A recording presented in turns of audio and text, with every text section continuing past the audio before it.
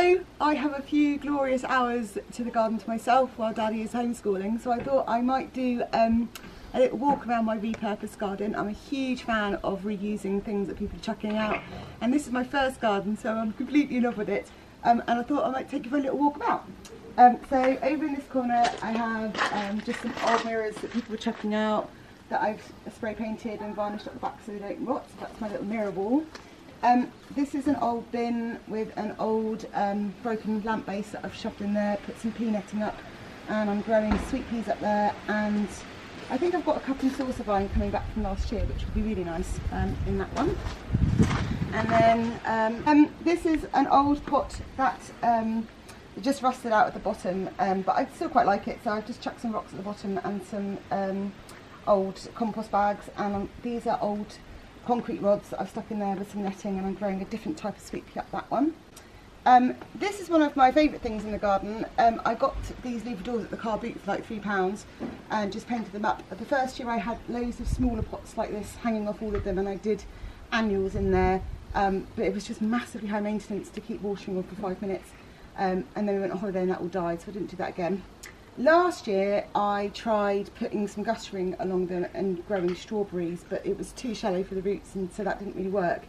But this year I have got some deeper buckets and I'm going to grow some Lobelia Cascade in those so hopefully that will all drape down there.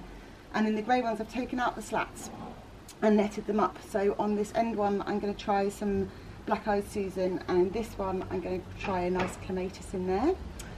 Um, over here this is my old laundry basket um, and to save it from being chucked out, I just varnished it up, put some compost bags in, uh, made some holes. Um, but the magpies peck at that every year for their nest, so it's slowly disintegrating, but I quite like that.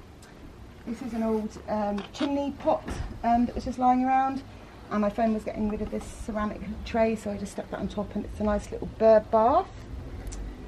This is my favourite thing in the garden. Everyone said I was completely mad for um, doing this, but this was a dead tree that was here when we moved in. Um, it was over there, but I moved it and cemented it into the bed here. And on one side I'm growing generous gardener roses, David Austin roses, and on the other side is a white type that I can't remember, but another David Austin. And every year I plat it together so that when it blooms it comes out pink and white and it looks really lovely and I've got loads of blooms on that this year so I'm really excited and it also means I've got things to hang bird feeders and things from. Up here is my lockdown challenge area. I've never grown fruit and veg before um, but uh, when lockdown started and we couldn't get hands on anything at all we had a load of old junk um, one of my daughter's old beds was taken apart and stuff so I challenged myself to make a fruit and veg area out of absolutely just what we had lying around so this is some old guttering for the salad bar and we had our first salad leaves in our burgers last night. Yummy. This is my mulberry, um, which is my pride and joy, so I've given it its own little private enclosure. Um, a herb rack with some old decking. Um, um, I was a bit worried about that, that wouldn't work, but they've all germinated beautifully, so I'm hoping they'll all come up. The thyme isn't doing very well, but everything else is lovely. Uh, my raspberry, these are some old um, solar lights that are just broken, so I turn them upside down, put some lining in, hung them up, and the strawberries are doing really well in there. This is just a bit of old bed um, and a pot, and I'm growing peas up there, and they're growing gate so I'm very excited about that.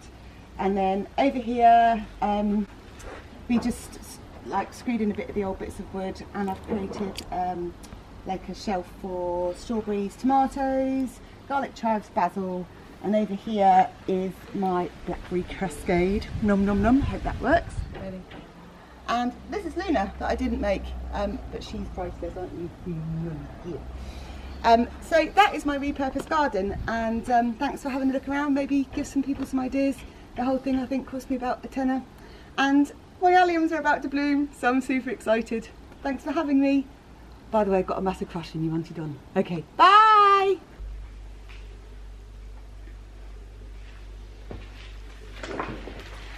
Hey, it's Lou. If you've just watched one of my videos and you found it even remotely entertaining or informative, can I ask a huge favour? Could you possibly click the subscribe button, wherever it may be, around your screen? It's just that subscribers are kind of our indicators to know whether to carry on making video or whether to just not bother. Um, if you're watching this embedded, you can find us on YouTube at Lou Spouts Stuff. Okay, thanks a lot. See you soon. Bye.